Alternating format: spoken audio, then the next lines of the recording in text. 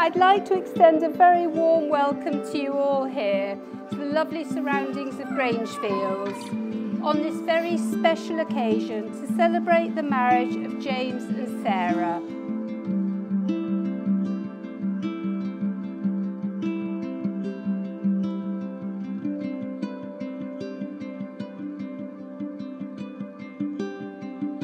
to Sarah. You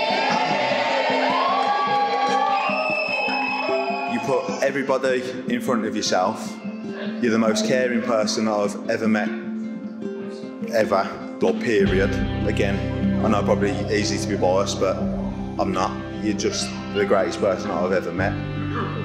I know sometimes like I might be a pain in the backside to deal with, but coming home to you, yeah, sometimes. Who said that? Your dad. Uh, no, just everything you do for me, everything you do for me, everything you do for the girls.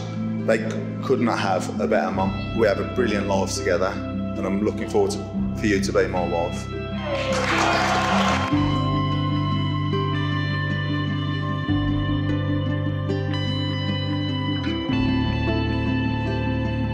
From the word of go, hands on. Active little girl, have a go at anything.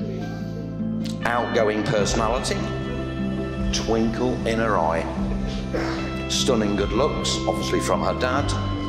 She sailed through life with ease. And that brings me on to the groom. But I'd like to welcome you officially to the Shepherd family. I could not have wished for a better person for Sarah.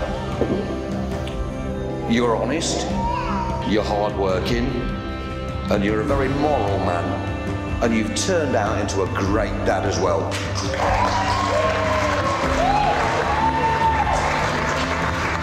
Jimmy and Ruth, you've got to be very proud.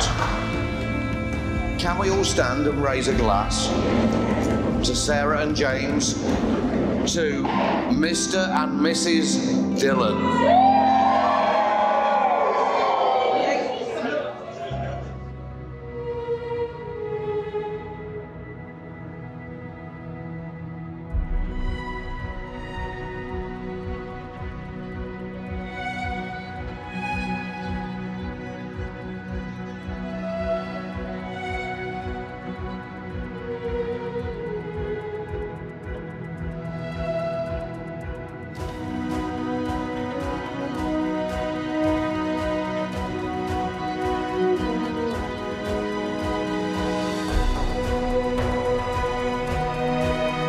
James and Sarah, you have both made the declarations required by law and have made solemn and binding promises to each other in the presence of your witnesses, family and friends.